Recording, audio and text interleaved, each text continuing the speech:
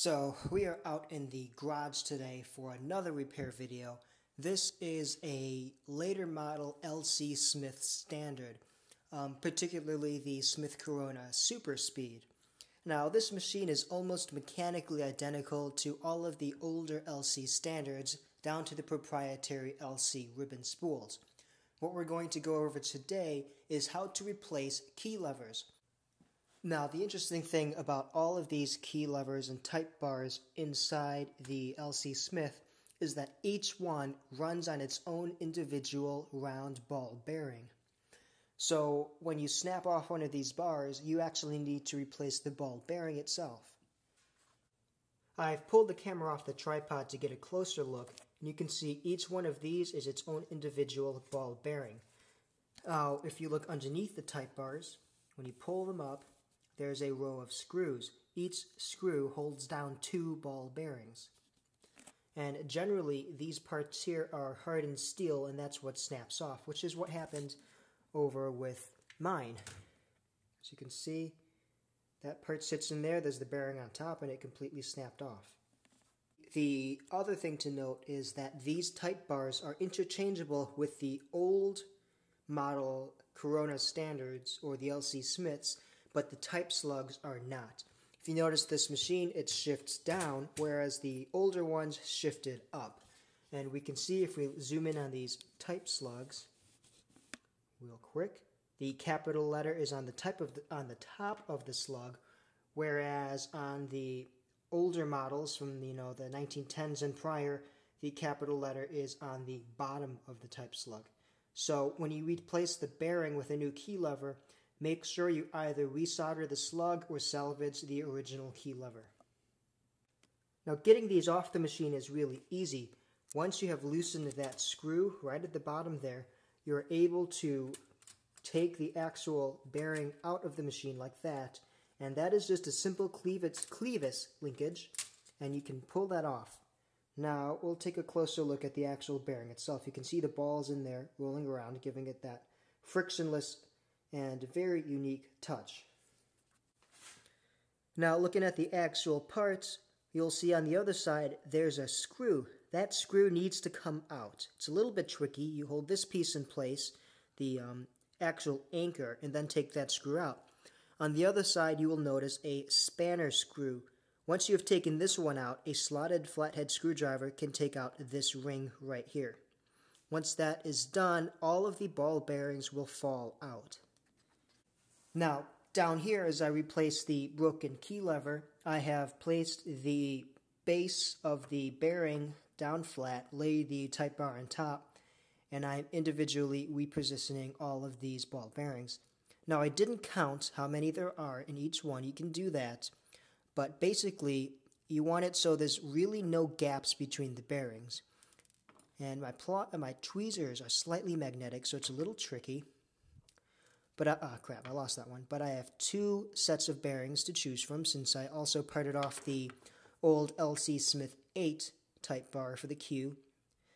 And we're just going to slowly insert all of the bearings all the way around. I keep dropping them in the middle. And there goes another one. It's a little bit tricky, especially when I have to stand so far away from the camera. And one more, and we should be good. And I, I dropped it. And I dropped that one too. Wow. I'm on a roll. I dropped three in a row. Damn it. Okay, sorry about that. Yeah, these these I got like a big blob in the middle now, so I have to move this. Let's move it over. Press those aside. Okay. Let's try this again. There we go. And I actually think I can fit one more. Nope, can't. Okay. Let's get that out of the center, actually. Okay. Once that is done, we're going to take the um, that little spanner part, and that's what actually holds the bearings in place. Just drop that in very gently, very gingerly. And yeah, I know my flat hollow ground screwdriver is broken at the tip, I'm going to very slowly, gently screw that all back in place. A little bit tight. And I think it's too tight.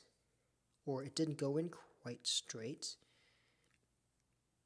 So I'm going to fiddle with that for a second.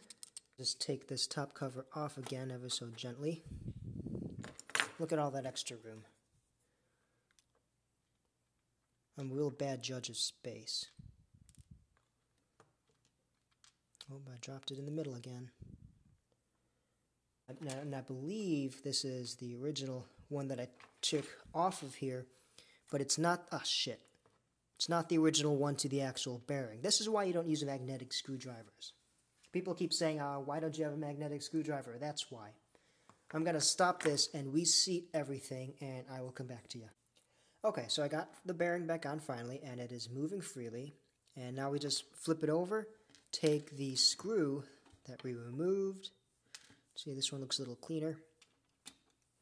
And again, I have another broken screwdriver. It's a bad day today. And we're just going to tighten that on down inside, gently. And after that, we should have this whole ball bearing assembly nice and smooth. Out of focus. Zoom in. Yeah, manual focus lenses, but I got good macro.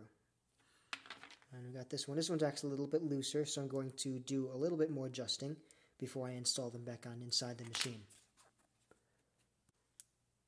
Okay, so zoom back in, and as you can see, the key lever is now completely free to move. So we're going to take these um, and install them back inside the machine now. Alright, we've got somewhat of a good angle here now. I'm going to take the A-type slug and slot that in. Lift this up. It's going to go right in its little slot there, pressing all the way down until it seats firmly. I'm going to ignore the clevis linkages for now, and I'm going to take the Q type bar, which I have replaced the bearing on, and also slot that all the way down. And as you can see, even though this is from a Smith 8 from like the 1910s, it fits just fine in this 40s era super speed. Now, we're going to take the long reach screwdriver, thread it in here, and just tighten up that bracket real good. That one right there. You can see it with my broken screwdriver. I have better screwdrivers, I promise. Um, then, oh, I found my better screwdriver. It was literally just sitting here in the corner in front of my face this entire time, and somehow I missed it. I spent like 10 minutes looking for it, and, and let me show you where it was. See if I, it, it, it was right here the entire time. Okay. Alright, that's over. Let's get this back, focus up. Okay, uh, I forgot what I was doing. Yes, so the clevis linkages, we're going to tackle the A first. If I can get my fingers out of the way to show you, it's going to take the flathead screwdriver in there, twist it so it opens up, and place that right on that slug area. And as you can see, works just fine now. So if I can do this one-handed, slide it in between the clevis linkage, twist it to open it up, then maneuver it over the post and close it again.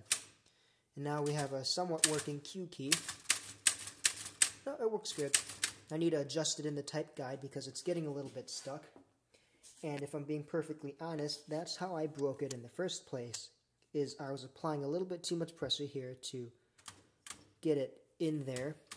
But the great thing we can do now is if we come back down and focus,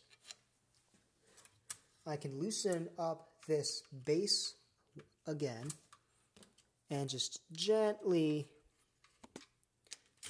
gently raise up the Q just a little, little bit. Alrighty, and that's that. The Q key. Ah, damn it. I'll fix that. The Q key.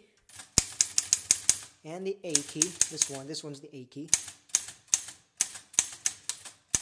Q, A.